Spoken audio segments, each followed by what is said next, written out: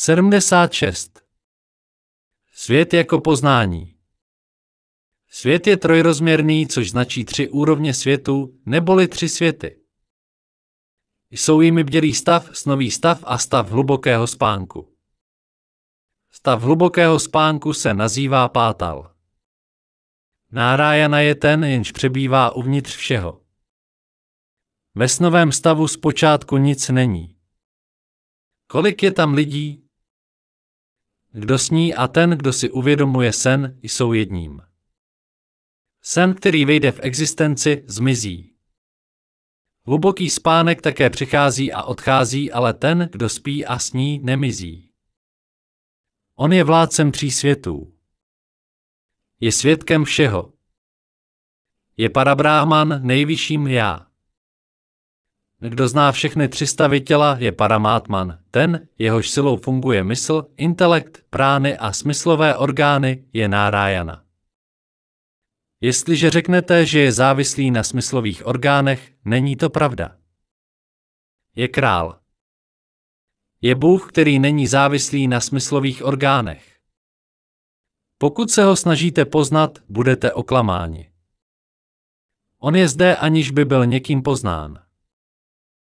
Jestliže se domníváte, že jste určitá bytost, konkrétní entita a snažíte se ho poznat, nebudete toho schopni. Nesnažte se ho poznat. On je znalcem. Aniž bychom se snažili ho poznat, on je zde, tato jednota již zde byla. Je pouze znovu ustanovena. Realizovaná bytost žňánin nemůže být znalcem či pozorovatelem a snažit se poznat či pozorovat sebe. Poznání je poznáno samotným poznáním. To musí být tiše pochopeno. Je to samo o sobě. Je to jako když se vaše já dívá samo na sebe do zrcadla. Skutečnost je viděna v zrcadle poznání. Schopností jazyka je ochutnávat a to jedině ochutnáváním. Kniha poznání je jako zrcadlo. Vědomí je pouze jedno. Jak může jedno jediné vědomí poznat cokoliv dalšího? Musíme to pochopit tím, že se to naučíme přímo od gurua. V našem srdci ten, kdo zná vše a každého, je paramátman. To, co je, bez zaujímání jakéhokoliv stavu, je bráhman. Předpokládat nějaký stav znamená uvést něco druhé nebo další, což je koncept, že je zde víc než jedno. Vole v nádrži se vzdýmá do gejzíru, vytryskne k nebi a vidí nebe. Jakmile spadne dolů, je opět zcela promíchána s vodou v nádrži. Pravdou je to, když voda ví, že je pouze vodou v nádrži. To by mělo být realizováno. Syn Gurua, Guruputra, toto ví. Ostatní jen udiveně sedí. Jestliže se to snažíte poznat, přijdete o svou schopnost poznání. Ke skutečnosti nemůžete dojít skrze proces objektivního smyslového poznání. Těmi, kteří se trvávají ve snaze poznat to prostřednictvím zkušenosti, je vytvářen zmatek. Opusťte tento přístup. Zanechte své úsilí dovést skutečnost na úroveň zakoušení. Zanechte poznání i nepoznání. Oboje jsou pouhé koncepty, vaše postoje. Jakmile jsou oba ukončeny, se trvá jedině existence, která je rizím stavem bytí. Jedině pak vyvstane pochopení, to je naše já. Jak může být to poznáno? Denně sem chodíte a žádáte mě, abych vám řekl, jak můžete uchopit sebe sama a já jsem to takto odsouhlasil. Vím, že nejste ztraceni. Vím to zcela jasně a proto vás opatřím vaší vlastní adresou. Podstatou já je být. Možná ho nechcete, ale on je. On určitě bude, i kdybyste ho nechtěli. On je nejvyšší já, Paramátman. Je to mysl, která si představuje příbytek Boha, Vajkunta. Mysl si představuje, já jsem Višnu, nicméně mysl si nemůže představit nic o já. Mysl, která si představuje tři světy, si nemůže představit já. Pokud se snaží představit si já, skončí. Oči nemohou spatřit sami sebe, mohou vidět pouze ostatní.